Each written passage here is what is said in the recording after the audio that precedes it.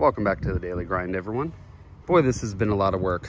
So I've got a lot going on here. So this is the area that um, I have tilled before and I've grown some stuff, but nothing was really growing really well. So I decided I was gonna retill. And this is a place that I already removed a lot of rock from, but I'm doing this by hand, by the way, with this right here. And if you look, those are some rocks okay? And this is just right here, from there to here, okay? Um, I've got rocks here. I've got rocks lined up all around my tarps, okay? Got rocks on the ground here and that wheelbarrow full. And that's what I pulled out of here, all by hand on the second till.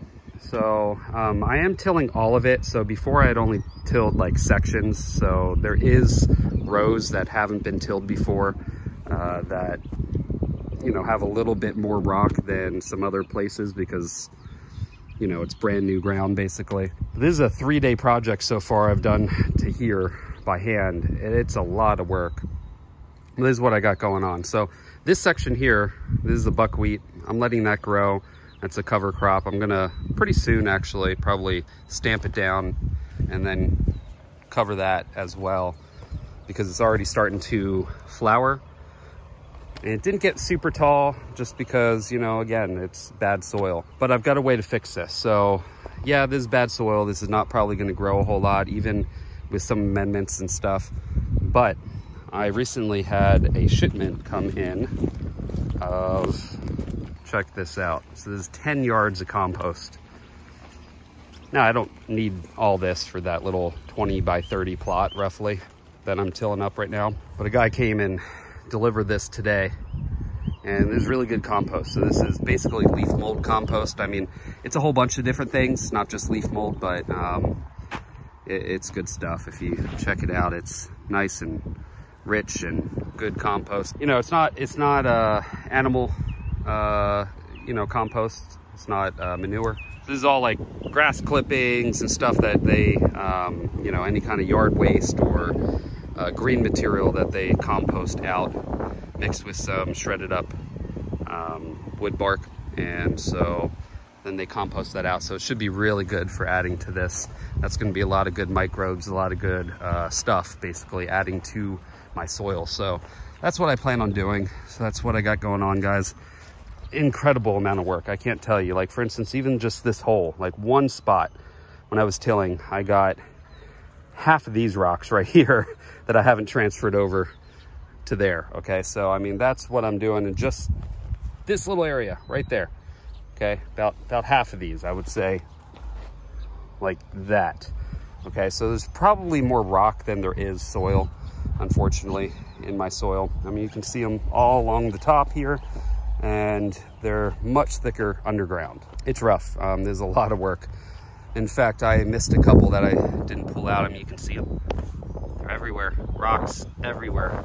So it's tough, but I will cover this. I'm gonna wet all this down, um, get those seeds to start to try to germinate, then cover it and let these tarps kill off all the weeds. Um, it's gonna be two things. It's gonna not only block the light and keep them from growing, but it's also going to heat up because we're we've got 100 degree days uh, almost every day right now, 95 to 100 plus, um, you know, right in between there. So when I cover this with the black tarp, that's just going to kill everything underneath. Um, probably cook any weed seeds or anything. Now this will become sterile soil, so there's not going to be anything in here to grow. Uh, but that's what the compost is for. So then I can just add that compost on top, maybe a two or three inch layer. And I'll make my rows, um, you know, with the compost and I should be able to get something good. Now I plan on doing living pathways. So I'm gonna section this out to three foot beds and then a two foot pathway so I can walk in between three foot bed, two foot pathway, that kind of thing. And I'll be able to make you know, quite a few rows here. Um, once that's ready, I'll cover that and do the same thing over here. And I can um, add that compost on top. And then of course amendments as well. Maybe fall, I'll be able to start planting some stuff. So probably do a cover crop at first to really incorporate everything with the roots into the ground. Probably do, I've got some winter uh, wheat that I think is gonna do really well. That way, you know, I'll, I'll get something growing here. And then next year, hopefully this will become corn like I got there and, you know, anything else I plan on growing right here. Now, one other thing I plan on doing because I got so much compost is I've got someone coming next week and they're gonna remove all the wood stumps, um, you know, tree stumps that I've got. I've got one right over there, um, one right there. Got them all throughout here. There's one right there, big one right there. So they're gonna remove those with some heavy equipment and then till all this. So I'm gonna have them till from right around here all the way over and I'm gonna add that compost on top. And then I've got bigger tarps that I can cover and do the same thing I'm doing here with, only this is all by hand. So I'm gonna try to see how this hand does, the hand tilling, which is a lot slower. Um, takes me a long time. I mean, look at these rocks, guys. Pulling out rocks that are almost the size of my head. I mean, some of them, you know, some smaller, but some bigger. It's just incredible amount of work. I am, I'm wiped out.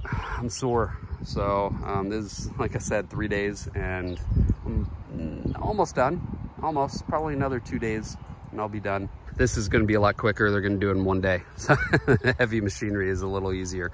Just costs a lot of money. So uh, once that's tilled up, like I said, it'll be a lot easier. I think they've got some scoops that can pull out the rocks. So all, you know, most of them, probably not all of them, probably only the bigger ones. They'll probably leave smaller stuff like that, but at least the big ones like that will be gone.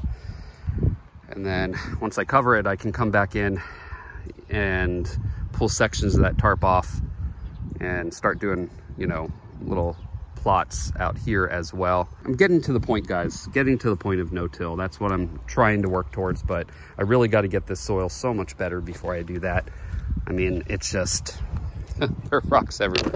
Um, I, it, it's just a lot of work, but once this is done, um, then I can just keep this a no-till and hopefully have some good good beds here growing some stuff. So this is not enough room for me to grow all the food that my family needs. But I have a feeling over here might, mm, at least the majority of the food that we eat. So this is gonna be a 50 foot from there to there by about 30 feet, 40 feet, like to here, uh, about 40. So 50 by 40, I think is what it is. So they're gonna get all that tilled up. And that should be enough to be able to grow most of the food that we eat. So there we go. That's what's going on. Well, thanks for watching, everyone. If you guys like this kind of content, please subscribe and hit that bell notification for future video updates. Also, if you could hit the like button, it would really help me and the channel out. I will see you on the next video. Now you guys try to escape the daily grind.